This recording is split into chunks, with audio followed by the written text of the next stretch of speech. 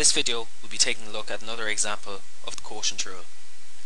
So just to go back over the steps for applying the quotient rule, we have to identify u and v first, then differentiate them to get du dx and dv dx, so that we can sub them into our given formula.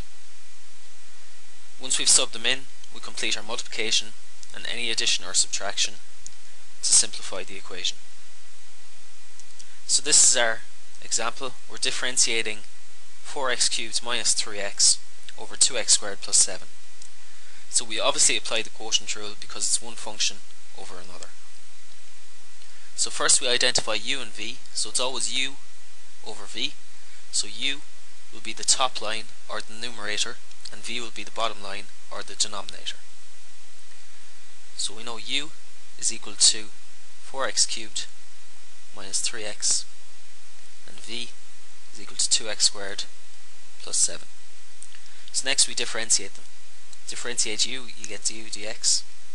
So 4x cubed when we differentiate it, get 12x squared minus 3x differentiates to minus 3.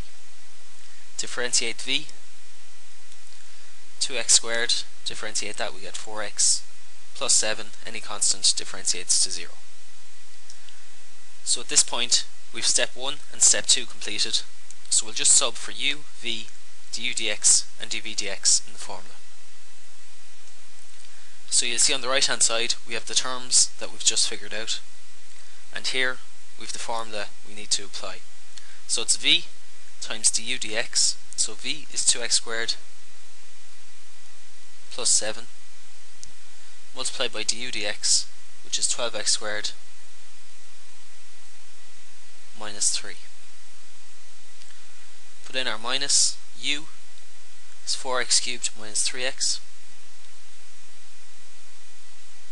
Put our brackets around it by dv dx which is 4x. And that's all over v squared which is 2x squared plus 7. So next we multiply out what we have here. So we've 2x squared plus 7 by 12x squared minus 3. So 2x squared by 12x squared gives 24x to the power of 4. 2x squared by minus 3 gives minus 6x squared. 7 by 12x squared, that'll give us 84x squared. And 7 by minus 3 gives us minus 21. Next, we've minus 4x cubed minus 3x by 4x. So we'll put in our minus, keep our brackets. 4x cubed by 4x gives 16x to the power of 4. Minus 3x by 4x is minus 12x squared. And that's all over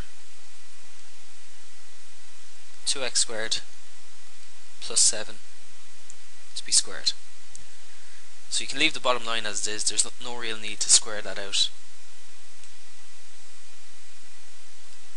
Next we'll just get rid of the brackets. So we've 24x to the power of 4.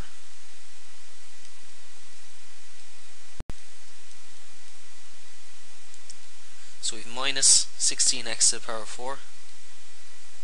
Minus by minus gives us plus 12x squared.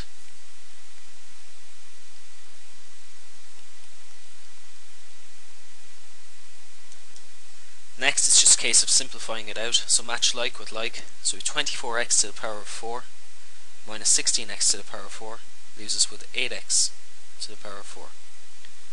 So mark them off as you go along. Next, minus 6x squared,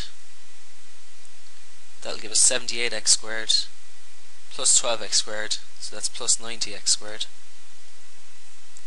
And finally we have minus 21.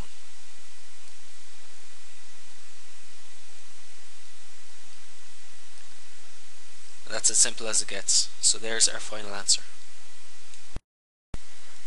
At this point we've completed two of the four examples. There are two more here for you to try. Pause this point if you wish to view them. Here are the solutions for those problems.